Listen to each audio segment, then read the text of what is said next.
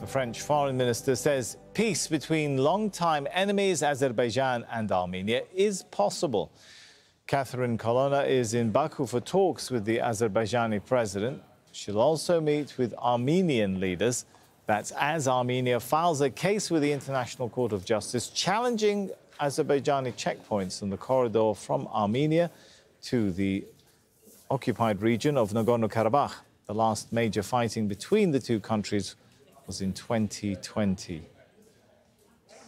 Al Jazeera's Bernard Smith is in Baku now, joins us live from there. So it seems this round, uh, Bernard has been uh, started with a dispute over checkpoints. Is the backstory really to all of this, though, the waning Russian influence in Nagorno Karabakh? They're supposed to be playing the role, of course, of peacekeepers, right?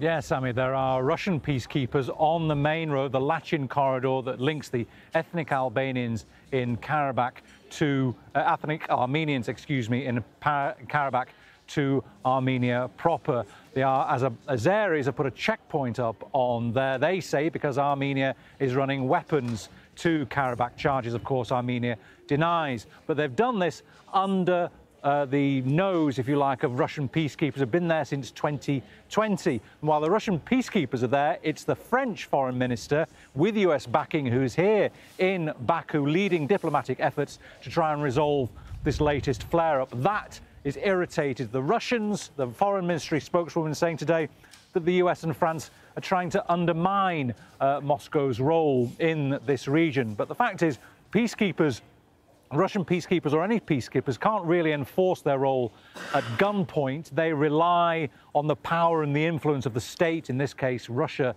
uh, that backs them. And Azerbaijan seems to, uh, the suggestion is that with Russia so focused on Ukraine, then it's taken its eye off the ball here somewhat. And that is why the French and the US have stepped in to try and resolve this uh, latest flare up. All right, maybe you can explain to us the concerns of those ethnic Armenians in Nagorno-Karabakh, as well as perhaps the, the Azeris in putting up that checkpoint. What, what is all of this about? Well, Armenia really suspects that Azerbaijan is trying to essentially take over the rest of Karabakh by stealth. Azerbaijan, in that last war between the two sides in 2020, took back control of huge amounts of territory around the main urban area of Karabakh. The main city, Khankendi, is what the Azeris call it. For the uh, Armenians, it's Stepanakert, ethnic Armenians in there. And they want to remain, they're sort of sep separated from uh, uh, Azerbaijan. It's internationally recognized as Azeri territory, but it is essentially disputed. And this is why this conflict's been so long running, because they haven't resolved the final status of this area. Armenia, Azerbaijan says it's offered Armenia dual control over this road.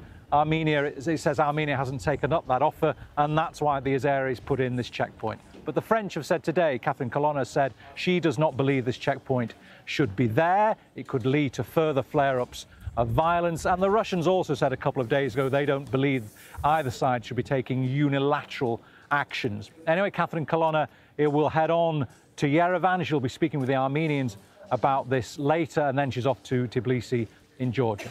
Sam. All right, thanks so much, Bernard Smith there.